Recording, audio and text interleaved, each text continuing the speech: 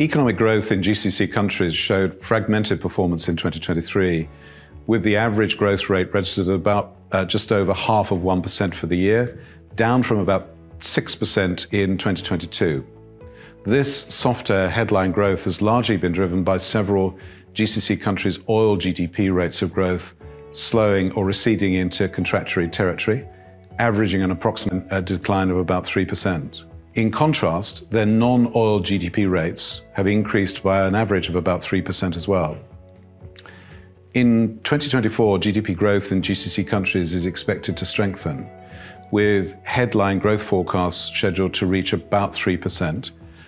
Whilst the oil GDP is expected to grow well, we anticipate that the non-oil sector will grow at a higher rate. Although there are economic headwinds at both global, regional and national level, the latter most pertaining to the oil-related activities, we note that activity in the non-oil sector, and particularly in real estate, remains very buoyant across the whole of the region.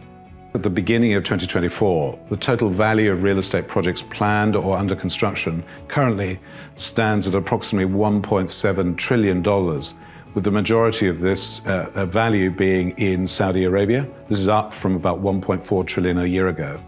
Saudi actually accounts for about 63% of the total, with some $1.06 trillion worth of value, followed by the UAE, which is still very significant at 409 billion, with the rest of the GCC accounting for the remaining 13 or so percent.